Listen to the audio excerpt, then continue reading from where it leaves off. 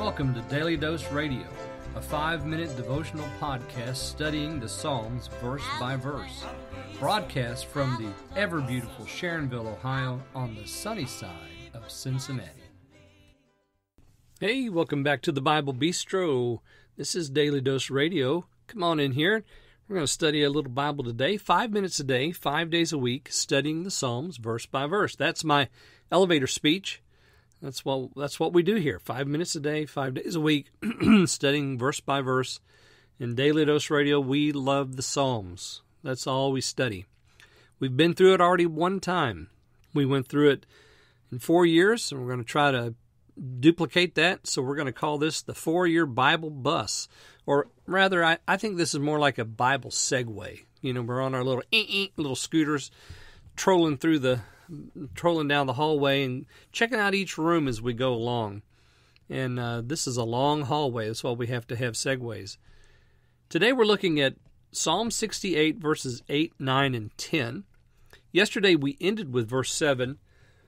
O God, when thou wentest forth before thy people, when thou didst march through the wilderness. Selah. So the Selah was a pause for us. And now we come to verse 8. The earth shook the heavens also dropped at the presence of God. Even Sinai itself was moved at the presence of God, the God of Israel. Thou, O God, didst send a plentiful rain, whereby thou didst confirm thine inheritance when it was weary. Thy congregation hath dwelt therein. Thou, O God, hast prepared of thy goodness for the poor. Now, you'll notice that we it's interesting how the Selah kind of breaks this action up when God went forth before thy people and you marched through the wilderness, break with the Selah, and then you come to verse 8, the earth shook. I mean, you just you just jump right back into it. The earth shook when you marched through the wilderness. I was thinking about uh, when I was a boy, I'm going to tell a story on myself.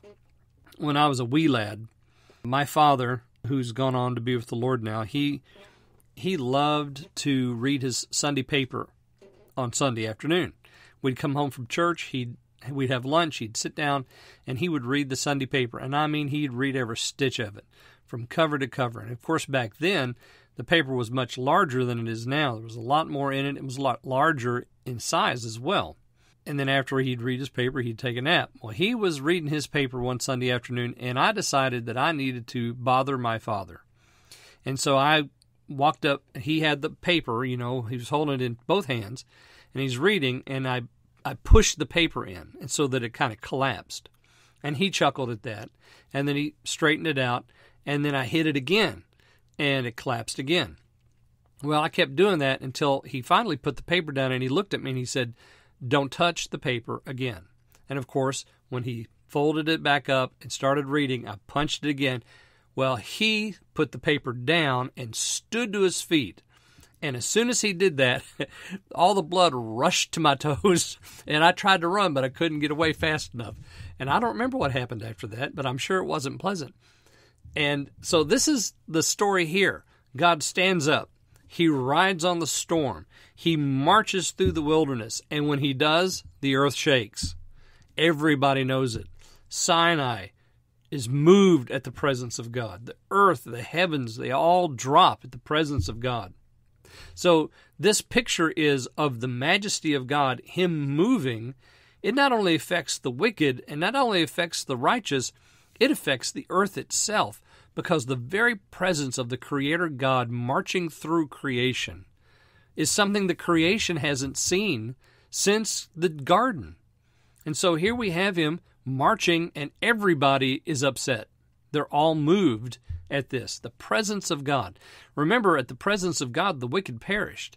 In at creation, in front of the creation, at the presence of God, they're moved. They don't perish, but they're moved because they've not done anything wicked to perish over.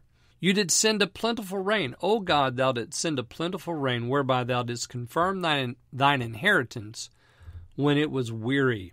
This is some time, perhaps this is the period of Ahab when Elijah was ministering and there was no water in the land, and then suddenly showers came and restored the land. Perhaps this is what's being uh, thought of here.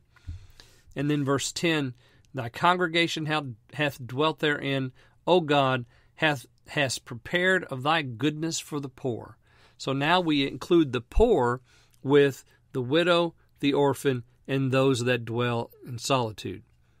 All right, well, join me again tomorrow. We'll pick up in verse 11 and see what happens then on Daily Dose Radio. Thanks for listening to Daily Dose Radio. I'm David Smith. The music today has been performed by the Bluegrass Experiment. Thanks again for listening. I'll see you next time on Daily Dose Radio.